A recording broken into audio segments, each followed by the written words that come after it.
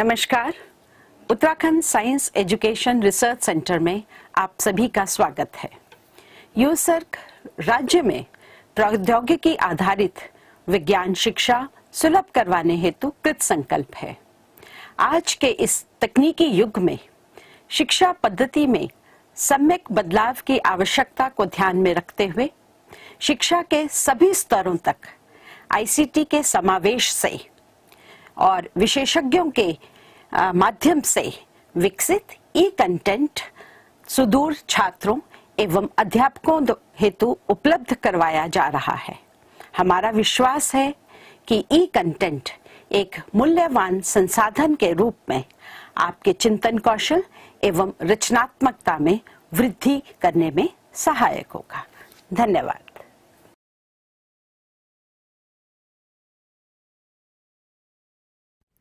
आइए यहाँ पे काफ़ी ज़रूरी प्रश्न पे ध्यान दें। इस प्रश्न को मैं इसलिए ज़रूरी कह रही हूँ कि मैंने बहुत सारे विद्यालयों के इंटरनल एग्ज़ाम के पेपर में भी इस प्रश्न को पाया है, इसको बहुत सारे प्रैक्टिस पेपर्स में भी पाया है और इस तरीके का प्रश्न आपको परीक्षा में मिलने की काफ़ी ज़्यादा चांसेस हैं। तो ये क्वेश्चन बहुत ध्यान से पढ़िए और मेरे साथ साथ करिए।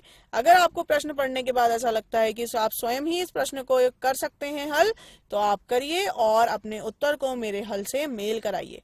तो चलिए आइए इस प्रश्न को पढ़ते हैं और प्रश्न कुछ इस प्रकार है।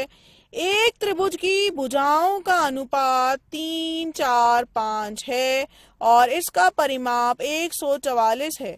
इस त्रिभुज का क्षेत्रफल ज्ञात कीजिए और इस त्रिभुज की सबसे बड़ी भुजा के संगत ऊंचाई भी ज्ञात करिए। सबसे पहले एक यहाँ पे रफ आकृति बना लेते हैं, क्योंकि हमें भुजाओं का परिमाप दिया गया है और परिमाप देख करके ये तो बात एक समझ में आ रही है कि ये जो हमारे पास त्रिभुज है, ये एक विषम त्रिभुज है और इसकी सारी भुजाएँ जो हैं वो अलग अलग माप की हैं। तो एक त्रिभुज की भुजा ऐसी है जो कि तीन भाग के बराबर होगी और दूसरी चार भाग के और तीसरी पाँच भाग के। और किसके भाग हो रहे हैं? परिमाप के भाग हो रहे हैं, जिसका कुल योग है एक सेंटीमीटर। तो सबसे पहले हम एक बात मान लेते हैं यहाँ पे कि मान लेते हैं, मान लेते हैं कि भुजाओं की भुजाओं का उभयनिष्ठ उभयनिष्ठ भाजक उभयनिष्ठ भाजक एक्स है। ऐसा करने से क्या होगा कि हमारे पास भुजाएँ आ जाएँगी ए बी तीन एक्स फिर ए सी चार एक्स और बी सी पाँच एक्स आशय ये हुआ कि देखिए, हमें भुजाओं का अनुपात मालूम था। भुजाओं की असल लंबाई तो हमें पता नहीं है। अब जब हमें असल लंबाई नहीं पता है तो यानी भुजाओं की लंबाई तीस, चालीस, पचास सेंटीमीटर भी हो सकती है, तीन सौ, चार सौ, पाँच सौ सेंटीमीटर भी हो सकती है। तो कोई ना कोई एक उभयनिष्ठ भाजक तो है, जिसको हमने अनुपात लेने में सबसे जो है विभाजित कर दिया। तो असल लंबाई निकालने के लिए हमने उसी अभनिष्ठ भाजक को तीनों भुजाओं की लंबाई के अनुपात के पदों से गुणा करके असल लंबाई लिख दी।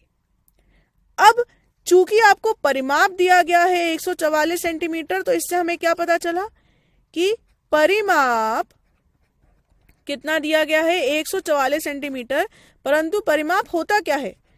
परिमाप है परिधि, यानी कि जो भी इसकी बाउंड्री है, उसका मान। बाउंड्री मतलब तीनों भुजाओं का योगफल। और तीनों भुजाओं का योगफल अगर हम करने बैठे तो हमें मिलेगा तीन एक्स फिर चार एक्स और पाँच एक्स और प्रश्न के अनुसार ये 144 सेंटीमीटर के बराबर दिया गया है। तो अगर आप इसको योग करेंगे तो आपके पास आ जाएगा 12 एक्स, जो कि 144 सेंटीमीटर के बराबर है। और अगर आपने 12 से यहाँ पे भाग दे दिया तो ये x का मान आ गया 12 ध्यान रखिए कि x की कोई भी इकाई नहीं होगी, क्योंकि x क्या है? एक भाजक है उबेनिष्ठ भाजक है। अब हम तीनों भुजाओं की असल लंबाई निकाल लेते हैं तो ए बी हो जाएगी तीन गुना बारह। यानी कि छत्तीस और ये उत्तर भी सेंटीमीटर में आएगा। इसके बाद हमारे पास बी सी आ जाएगी पाँच गुना बारह, जो कि है साठ सेंटीमीटर। और इसके बाद हमारे पास ए सी आ जाएगी चार गुना बारह, यानी कि अड़तालीस सेंटीमीटर। तो इस प्रकार से आपने तीनों भुजाओं का मान निकाल लिया, जो कि हो गया छत्तीस, अड़तालीस और साठ सेंटीमीटर। जब आपने इन तीनों भुजाओं का मान निकाल लिया तो अब आप हिरोन सूत्र का प्रयोग करके इसका क्षेत्रफल भी निकाल सकते हैं। तो चलिए अब इसके आगे का प्रश्न स्वयं करने का प्रयास करिए। तो अब हमें यहाँ पे क्षेत्रफल निकालने के लिए क्या करना पड़ेगा, आप बताइए। हेरॉन्स फॉर्मूले का प्रयोग कर लें, क्योंकि हमें तीनों भुजाएँ यहाँ पे पता हैं। और जैसा कि मैंने आपको बताया कि सबसे लंबी भुजा को हम ए मान लेते हैं, सब फिर बी मान लेते हैं उससे छोटी भुजा को। और सबसे छोटी भुजा को सी मान लेते हैं। ऐसा कोई नियम नहीं है, मगर मुझे सरल लगता है। इसलिए मैंने ऐसा किया और उसके बाद मैं एक बार आपको सूत्र लिख के बता देती हूँ। तो सूत्र तो ये कहता है कि अगर आप किसी त्रिभुज का क्षेत्रफल निकाल रहे हैं तो हिरोन सूत्र के अनुसार वो हो जाएगा वर्गमूल। और वर्गमूल में कुछ हमें पदों का गुणनफल लेना है, जो कि है S S minus A, S minus B और एस माइनस सी। यहाँ पे एस जो है, वो अर्ध परिधि या फिर अर्ध परिमाप है, जिसका आशय ये हुआ कि एस क्या होगा? परिमाप यानी कि A plus B plus C बटा दो।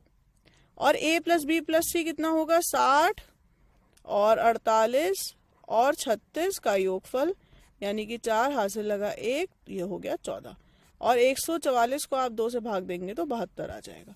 तो इस प्रकार आपके पास जो ये क्षेत्रफल है, ये कितना होगा?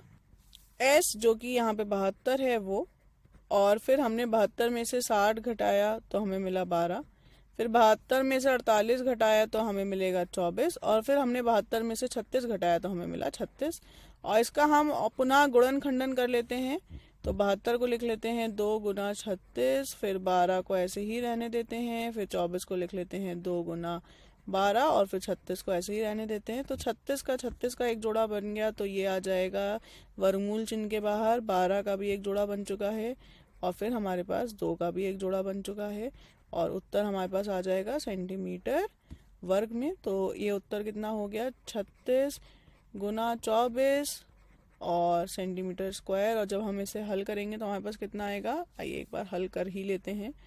तो यहाँ पे ये रफ वर्क कर लेते हैं कि छत्तीस गुना चौबीस कितना होगा। तो चार से अगर हम इसे गुणा करेंगे तो चौबीस, हासिल लगा दो, यानी कि एक सौ चौवालीस, और ये बहत्तर, और ये आ गया चार, और ये छः और ये आठ। तो आठ सौ चौसठ वर्ग मात्रक, और कौन सा मात्रक? सेंटीमीटर, यानी कि सेंटीमीटर स्क्वायर आपके पास उत्तर आ गया इसके क्षेत्रफल का। अभी हमारे पास प्रश्न पूरा खत्म नहीं हुआ है, क्योंकि प्रश्न में एक और बात पूछी गई है, और वो बात है कि इस दिए गए त्रिभुज में जो सबसे लंबी भुजा है, उसकी संगत ऊंचाई कितनी होगी? अब देखिए, यहाँ पे हमको एक बात का इस्तेमाल करना होगा कि इस त्रिभुज का जो भी हमारे पास क्षेत्रफल है, वो समान ही रहेगा, चाहे आप उसे किसी भी सूत्र से निकालें। तो हिरोन सूत्र से निकाले हुए क्षेत्रफल को हम यहाँ पे प्रतिस्थापित कर देंगे और लिख देंगे कि ये बराबर होगा आधा गुना आधार, अगर हम सबसे लंबी भुजा साठ ले लें और उसके साथ की संगत ऊंचाई एच ले लें।